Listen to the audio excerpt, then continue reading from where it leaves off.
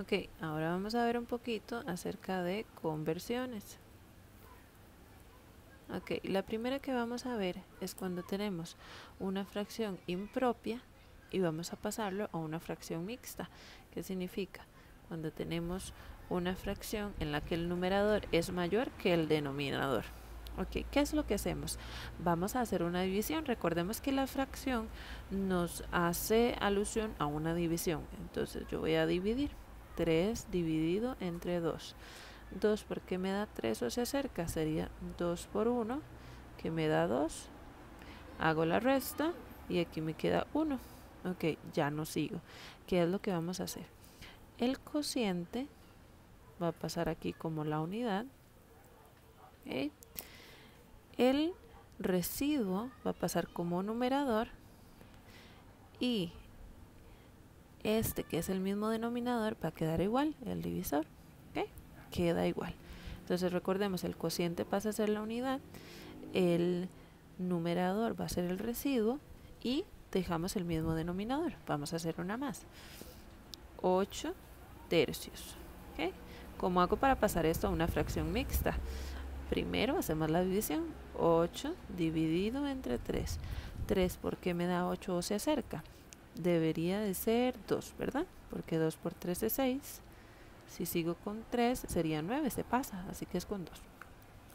8 menos 6 me da 2. Ahora entonces, este que está aquí, el cociente va a pasar a ser la unidad o el entero, ¿verdad?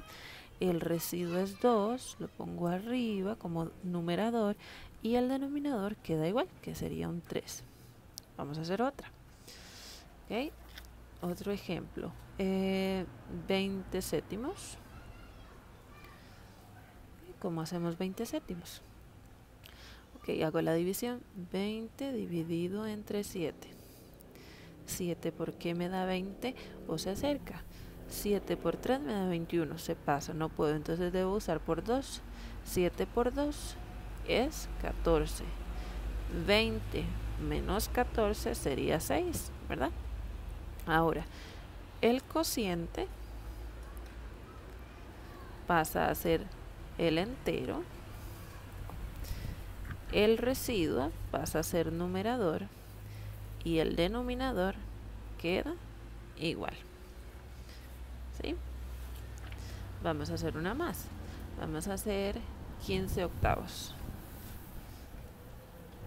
15 octavos. Igual hacemos la división entonces. 15 dividido entre 8. 8 por 2 me da 16. Se pasa, por lo tanto debería ser por 1. 1 por 8 me da 8 15 menos 8 me daría 7. Ahora entonces, lo mismo, ¿verdad? El cociente sería la unidad o el entero. El residuo quedaría como numerador y el denominador sigue siendo el mismo. ¿Sí?